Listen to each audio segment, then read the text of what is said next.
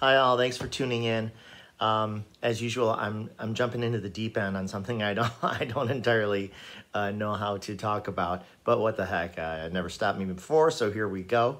I wanted to tell you about my latest dream, which has echoes of another dream, and then ties into some other um, sort of current thinking about where the world is at. Um, meaning, specifically that we are at the end of a major cycle in human history on Earth, and that we are uh, perhaps on the edge of the next big cycle of history on Earth.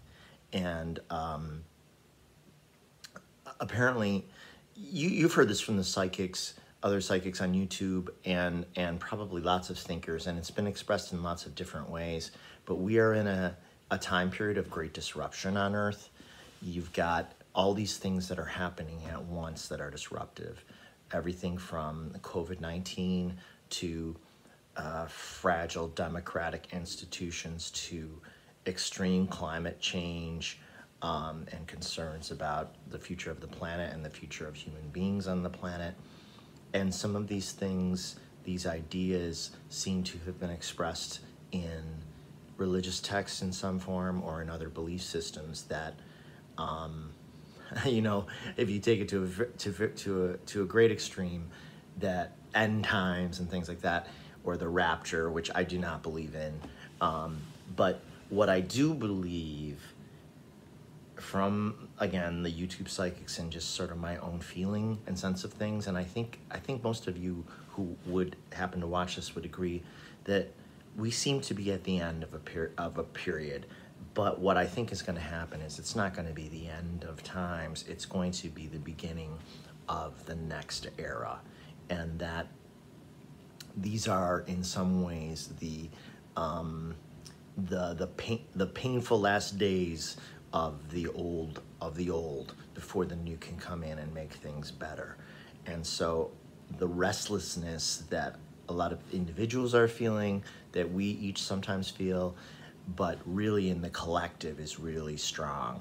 Um, everything from just um, from January 6th, from the coming of the last president, on to even the horrific, um, you know, disaster at the parade in, uh, I believe, Wisconsin, um, where, you know, a driver mows down pedestrians in a parade, just something completely horrific because people who lack um, a lot of people who lack grounding or who lack focus or who lack a sense of purpose or just have too many other problems are, are essentially being triggered by by by how intense this period of time is and how many burdens there are on mankind. So it's a hard time to live. Um, income inequality is just another one um, racial unrest and confrontation. Like these are they're all happening at the same time, and it does feel like a unique period. Uh, I, I can't. I'm sure there were other periods in human history where they thought, "Oh my God, this is you know um, the the end."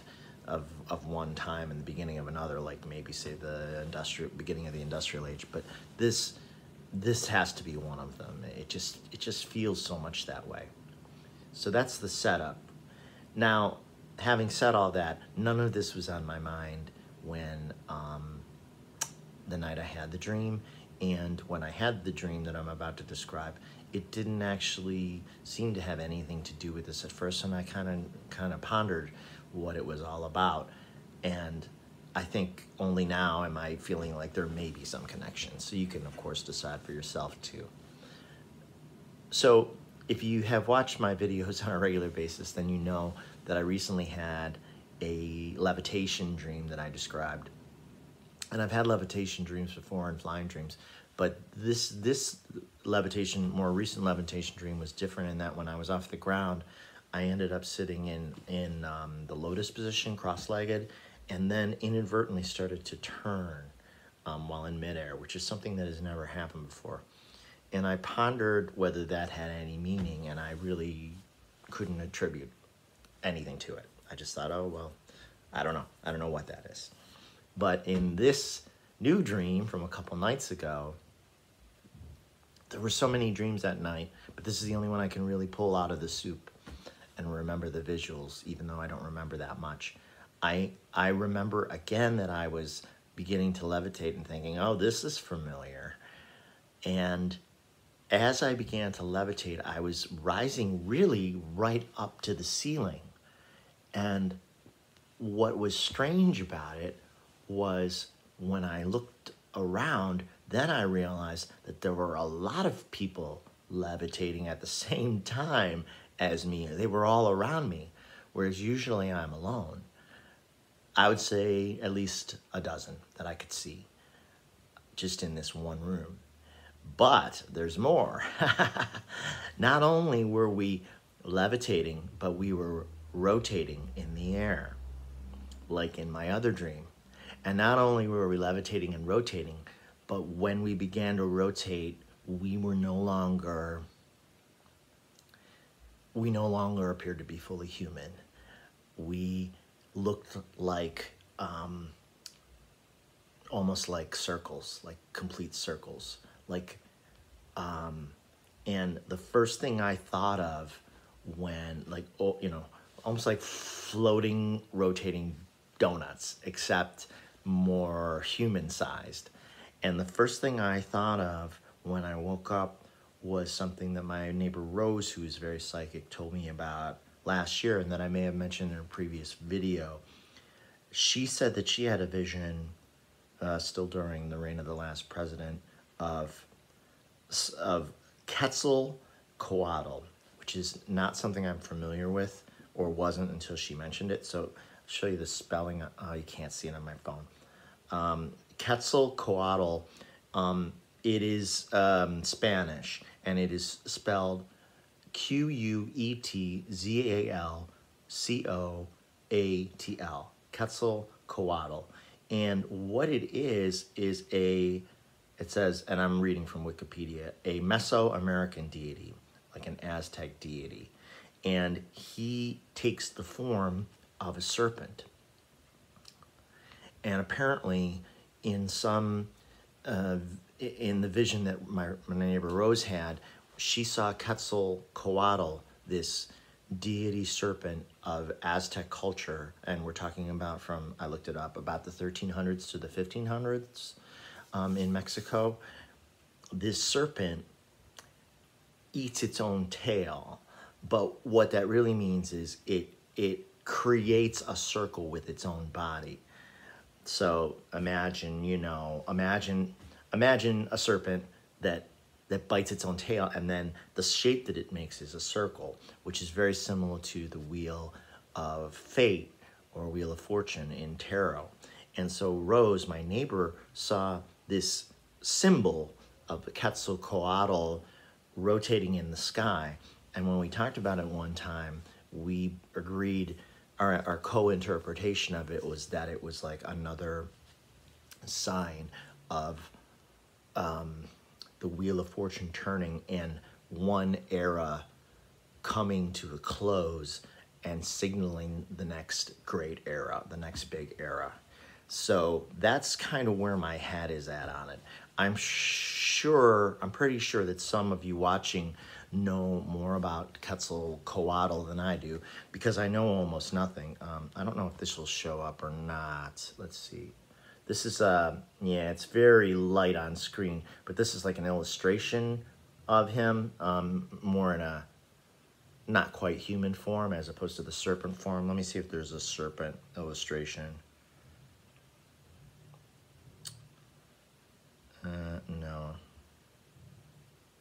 But let me read you a little bit from uh, Wikipedia about it. Um, so Quetzalcoatl um, uh, is a deity in Aztec culture and literature whose name comes from the Nahuatl language and means precious serpent or quetzal feathered serpent. Um, uh, in the 17th century, a descendant of Aztec royalty who was also his, a historian of the Na, Nahua people, wrote Quetzalcoatl in its literal sense means spirit of precious feathers. but in the allegorical sense, wisest of men. So it's like a god of um, Aztec culture. There's a little more below. Uh, I won't read too much more of this. Um, so among the Aztecs, again, 1300 to 1500, whose beliefs are the best documented in the historical sources, Quetzalcoatl was related to the gods of the wind, of the planet Venus, of the dawn, of merchants, and of arts, crafts, and knowledge. He was also a patron god of the Aztec priesthood of learning and knowledge. Was one of several important gods in the Aztec pantheon and uh, was the god of, let's see, again, this repeats a little, god of the sun and wind and air and learning. And um, let's see. Oh, okay. Um, he was the god of the sun and wind, air and learning, and wears around his neck the wind breastplate, which I can't pronounce. Etzel. Uh, uh, uh, I can't even pronounce this word. But if you look up the Wikipedia entry for Quetzalcoatl, you'll find it. Who wears around his neck a wind breastplate um, made of a conch shell. This talisman was a conch shell cut at the cross section and was likely worn as a necklace by religious rulers um, and potentially symbolized patterns witnessed in hurricanes, dust devils, seashells, and whirlpools that were elemental forces that had significance in Aztec mythology. Um, see. There was something specific that I wanted to mention that I can no longer find because I don't want to drag this out. Okay, here it is. Okay. To the Aztec, Quetzalcoatl was, as the name indicates, a feathered serpent. He was a creator deity, having contributed essentially to the creation of mankind.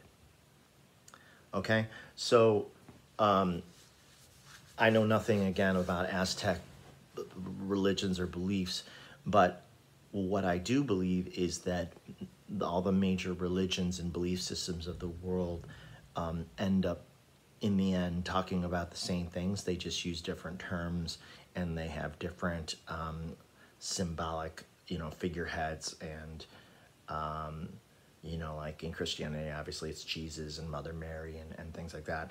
And in the Quran, it's uh, Muhammad. But uh, to me, these these religions are all hinting at the same things, and most religions hint at at um, you know a kind of disruptive time on Earth that um, where things seem to be almost dire, and then what follows is some kind of ascension. And some people, like I said, interpret that as a, um, you know, the end of times on earth, but I don't. I, I, I just, that's just my personal feeling that, that we come that we will come out of this period of disruption, but make no mistake that it is a period of great disruption and great change and great stress. But that what comes next will be the, the, the, the beginning of the better world. And how long that takes, I, I couldn't say. I have astrologer friends who believe that the age of Aquarius is also the signpost for the for the better future to come. And depending on who you talk to, some of them say that that has started. Some of them say it starts in the next couple years. Um, so, but we're we seem to be right on top of it. So when you feel um, stressed or or distressed by by a lot of the chaos that's going on in the world. Um, I, I feel like you want to, as much as you can, um, and as needed, step back from that news and step back from that energy and don't feed it with distress, feed it or feed it with stress and worry as much as is possible because that will only create more of the same. Um, you can't do it every day. We don't succeed at this every day. But I'm so curious because I've never, I've, I have no connection personally to Quetzalcoatl, unless perhaps in a previous existence I lived maybe as an Aztec or, or somewhere else where there was a lot of um, um, strong spiritual or, or religious spiritual you know energies or or believers um, and I was somehow a part of that in in the past um, which might be possible because I uh, again I had a, a, a same astrologer fr- friend that I mentioned before who gave me a reading one time that said that I had lived many lives. Um, I guess in in spiritual pursuits among other things, and that always the arts and, and creativity were tied into that, and that resonated with me pretty well without my having to feel like I needed to know exactly the details of that because I don't know if you can know, and it doesn't really matter because I, I just say I'm gonna focus on where and who I am now and and do the best I can to contribute to, you know, making my my my sphere of influence better than it is if I can improve it if I can.